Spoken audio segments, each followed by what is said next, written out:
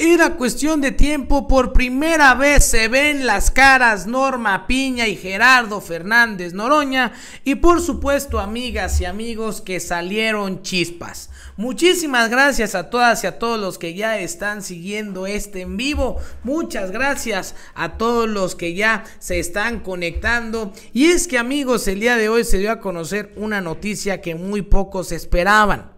Se vieron las caras por primera vez Noroña y Norma Piña.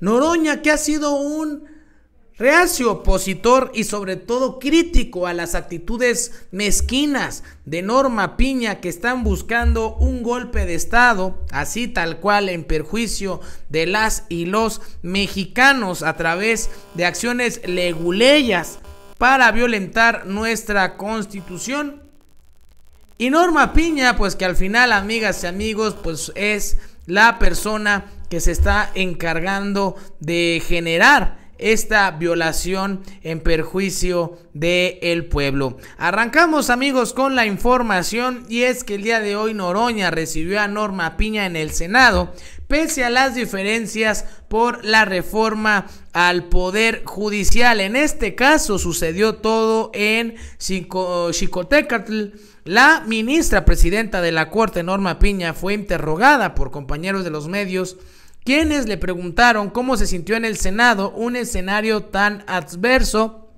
Esbozó una sonrisa y se marchó. Veamos el video. Ministra, ministra, ministra, una, ministra, ministra, ¿cómo se siente de haber visitado aquí el Senado en un escenario que pareciera que le da adverso? Gracias, buenas tardes. Ministra, ministra, ministra, una, ministra, ministra, ¿cómo se siente de haber visitado aquí el Senado en un escenario que pareciera que le da adverso? Pues ahí está, amigas y amigos, y como se fijan, pues no dijo nada Norma Piña, porque obviamente sabe que no le conviene, y más en un momento tan eh, crucial para el desarrollo de nuestro país. Y en este caso, Gerardo Fernández Noroña dijo que existe un acuerdo con la titular de la Corte para retomar el diálogo entre los representantes de los tres poderes de la Unión. Y esto al final, como yo lo puedo interpretar, como ya una forma de tratar de calmar las aguas y de decir pues que al final no pudo que es el pueblo de México quien está triunfando en esta lucha por la justicia en nuestro país. Escuchemos qué fue lo que dijo Noroña. Hay una interlocución del gobierno federal, cabeza la secretaria de Gobernación, y el compañero Dan Augusto y un servidor estamos ayudando la parte del poder legislativo simplemente digo que hay comunicación, que hay diálogo y que hay un acuerdo de mantener el diálogo y ya esto me parece mucho y muy importante. ¿El acuerdo se logró aquí o no previo? No, no, previo, no habría venido a esta ceremonia haciendo un acuerdo este, respeto de su condición de ¿Qué entregó la información? Bueno, eh, nosotros tenemos acceso a esta información tenemos acceso a esa información. Hay, por supuesto, puntos de vista divergentes en el jurídico, pero hay una preocupación común de superar las dificultades. No estoy diciendo que las hayamos superado, no estoy diciendo que las vayamos a superar, este, sí, no, no estoy diciendo eso, estoy diciendo que hay, para que sea muy claro, hay un acuerdo de, aún en las condiciones más difíciles, mantener el diálogo. Este es el acuerdo central, inicial, y de ahí hacia adelante todo lo que podamos construir me parece que será muy positivo. Hay disposición de, este, nuestra y del Poder Judicial de buscar los puntos de coincidencia. Pues ahí está, amigas y amigos, lo que dijo Gerardo Fernández Noroña. Hubo un acuerdo previo y obviamente pues también hay personas que están criticando de que pues haya sucedido esto. Pero hay que ser sinceros, amigos.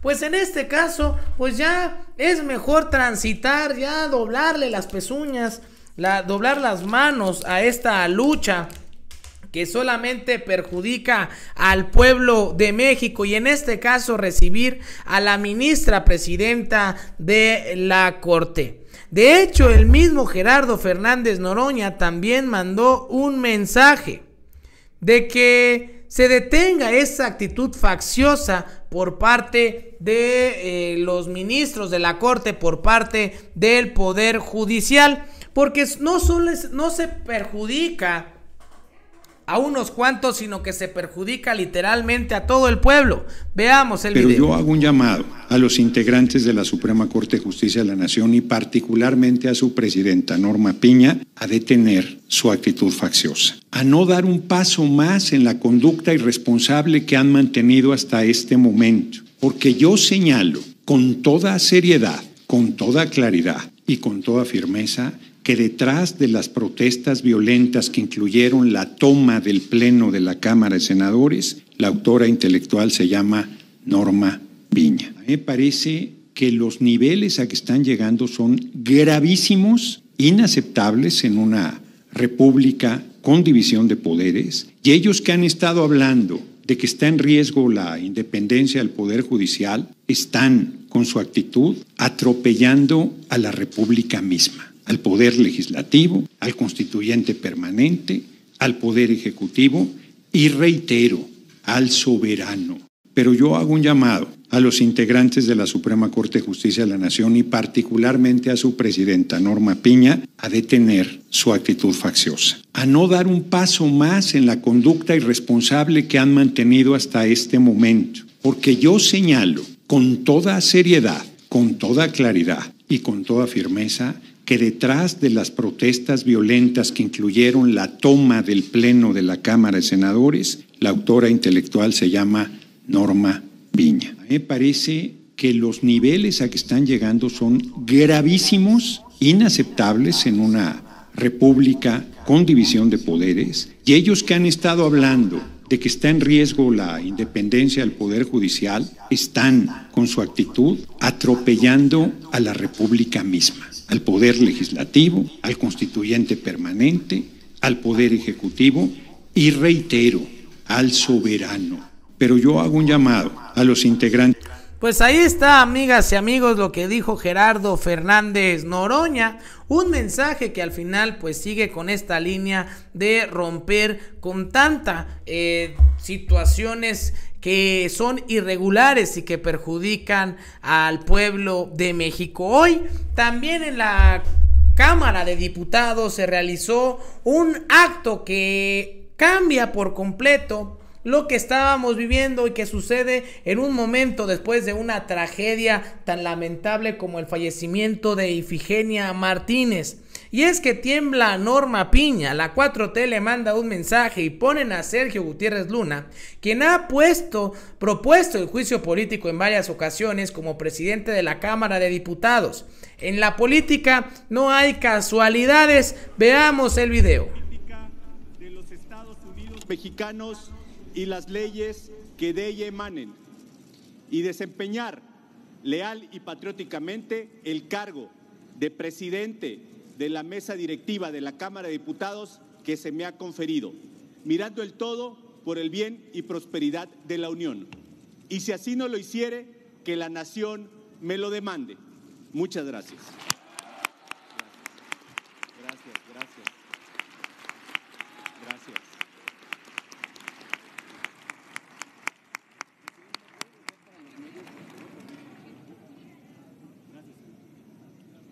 Procederé a tomar la protesta de ley de la primera vicepresidenta y del secretario de la mesa directiva.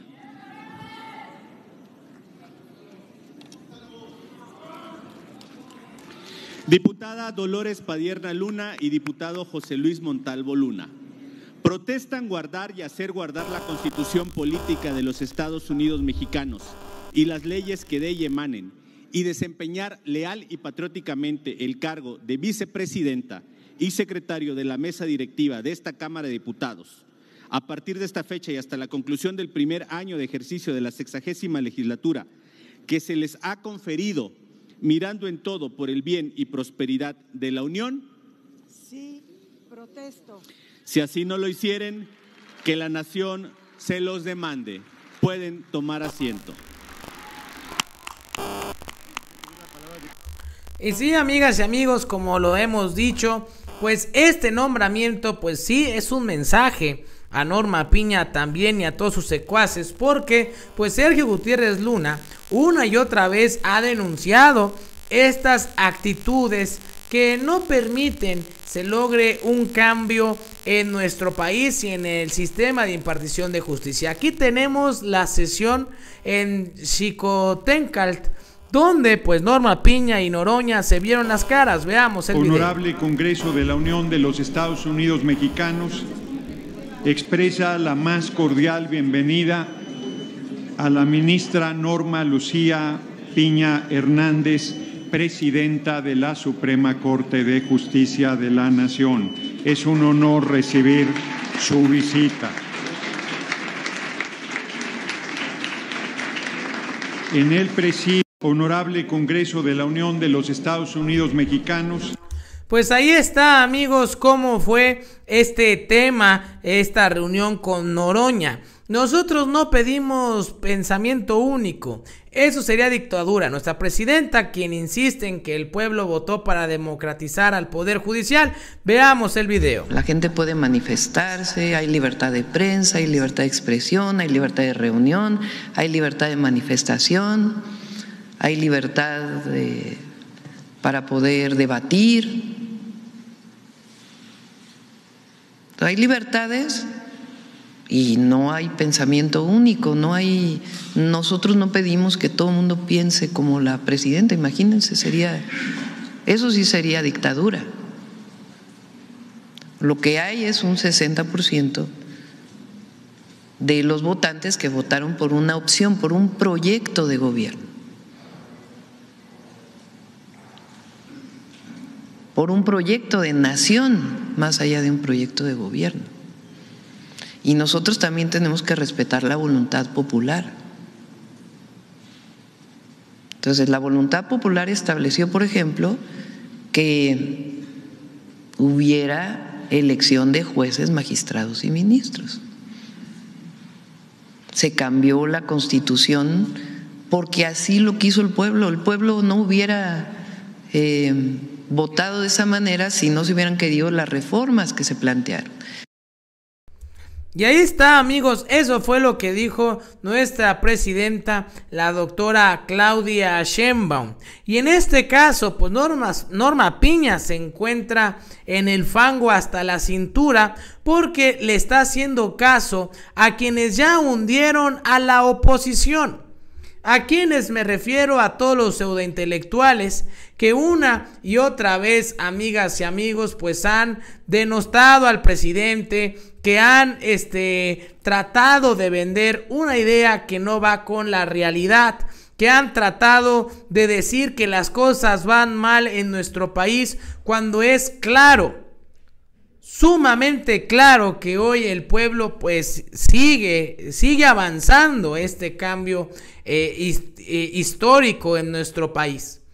Por eso es que podemos decir que acaba de cometer, que se está cometiendo un error por parte de Norma Piña, porque quieren ellos generar un cedillazo que Claudia Sheinbaum con un decreto destruya a la Suprema Corte de Justicia, esto para legitimar su eh, discurso de que hay una dictadura en México, pero no se van a salir con la suya. Veamos lo que dijo la doctora Claudia Sheinbaum. Autoritaria se desviven por encontrar el... Bueno, en este caso es un video de eh, Alejandro Páez Varela, que forma parte de los periodistas, donde explica por qué Norma Piña se está metiendo ella solita en un problemón. Veamos el video. Dato que pruebe que es un títere de Andrés Manuel López Obrador, porque de esa manera le apoyan el honor de ser la primera mujer jefa del Estado mexicano y comandanta suprema de las Fuerzas Armadas desean detener la reforma judicial, pero si no pueden harán lo que sea para que fracase. Intentan, de hecho, que México fracase, que el peso se devalúe, que se caiga la economía, que la violencia continúe, que el tren Maya choque y que al interoceánico le caiga un terremoto o un huracán atípico porque odiaban al presidente y porque odian a la presidenta y quieren venganza por los años que han quedado lejos del presupuesto y los privilegios. El odio irracional que los mueve es el que condujo a los líderes de la oposición a bloquear cualquier iniciativa de López Obrador en el Congreso, aunque implicara privar de ayudas a los de más abajo.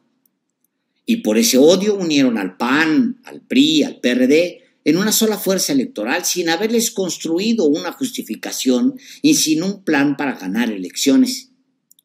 Y sin proyecto de nación, sin demostrar siquiera para qué querían regresar al poder, fueron perdiendo posiciones hasta ser reducidos a una fuerza marginal cada vez más oscura y más llena de amargura. Las élites que movieron los hilos del país durante décadas, que justificaron el fraude de 1988 y luego el de 2006, que aprobaron la entrega de los bienes nacionales a unas cuantas familias que se volvieron estúpidamente ricas, las mismas élites que pintaron flores al neoliberalismo al tiempo que la pobreza y la desigualdad aumentaban, las élites mediáticas, económicas, culturales, académicas e intelectuales que impusieron a Xochitl Gálvez sin un plan electoral y solo por el deseo de venganza son las mismas que ahora movilizan a Norma Piña en la Suprema Corte. La aconsejan, le marcan el ritmo.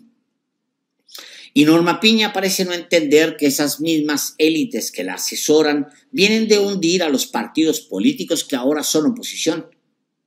Parece no entender que los que la llevan al abismo antes llevaron al PRI, al PAN y al PRD al mismo abismo. Y aún así le sigue el paso se deja guiar. Contra toda lógica, la ministra parece ignorar que aun si se lograra lo imposible, que es detener la reforma constitucional relacionada al Poder Judicial, ella dejará la presidencia de la Corte en dos años, pero antes irá perdiendo el poder en cámara lenta, como quien pierde un brazo o una pierna. El ministro Luis María Aguilar Morales tenía marcada su salida este mes de diciembre de 2024. El ministro Jorge Mario Pardo Rebolledo dejaría el cargo en febrero del 2026 si la reforma judicial se atorara y los ministros Alberto Pérez Dayán y, Alberto, y Alfredo Gutiérrez Ortiz Mena concluirían en 2027. Y ella misma, Norma Piña, tendrá que entregar la presidencia de la Corte en diciembre del 2026. Aún así, Norma Piña se monta en un caballo y saca una espada para enfrentar al monstruo que le dibujan las élites. Pero el caballo es de palo y la espada es de, hojas secas y su futuro no es el que ella piensa. No ve para los lados, no comprende que lo mismo le hicieron a Xochitl Galvez o no parece importarle que muy pronto acabará su borrachera y las borracheras siempre acaban en jaqueca. No parece entender que frente a ella hay un espejo y en ese espejo se reflejan Jesús Zambrano, Marco Cortés, Alejandro Moreno Cárdenas, Enrique Kraus, Héctor Aguilar Camín y otros, decrépitos y derrotados, cada vez más oscuros y más llenos de amargura. En ese espejo está Claudio X González, un junior que ha llevado a la oposición al abismo y la sigue empujando hacia abajo. Norma Piña no esperó ni dos días y casi al instante le dijo a la nueva presidenta de México que sería oposición. Se subió al caballo de que todos vemos que es de palo y se sacó una espada que todos identificamos como un puñado de hojas secas. La ministra no entiende que no entiende. No parece importarle que cada intento por hacer trampa la hunde y como es la presidenta de la Corte y de la Judicatura, arrastra en el fango del desprestigio a lo que queda del Poder Judicial. Desde que México es nación independiente y desde antes se entiende, las élites han hecho todo para dejar a las mayorías fuera de la toma de decisión, empezando con lo electoral. De tajo, la mitad de la población estuvo marginada del derecho al voto hasta las elecciones federales de 1955, cuando por primera vez acudieron las mujeres a las urnas. Y la historia posterior ya la conocemos, fraudes electorales, la proscripción de partidos de izquierda, la persecución, la represión y el hostigamiento con el aparato de Estado a quienes pensaran distinto o plantearan una alternativa distinta al grupo en el poder.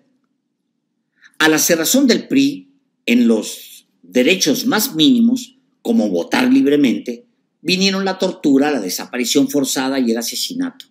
No se olvida. Y hablo solo de la cerrazón política y no en el término más amplio de la democracia. Hablo solamente de lo electoral, del derecho reducido y acotado de salir a votar a quienes te representan. Ni siquiera me refiero al reparto justo de los recursos nacionales y el reparto de las oportunidades para crecer y desarrollarse, que tendrían que ser parte de lo que debemos concebir como una sociedad democrática. Pues ahí está, amigas y amigos, y al final esto es lo que queda demostrado con esta lucha con Norma Piña. ¿Y ustedes qué opinan? Déjenmelo aquí abajito en los comentarios. Yo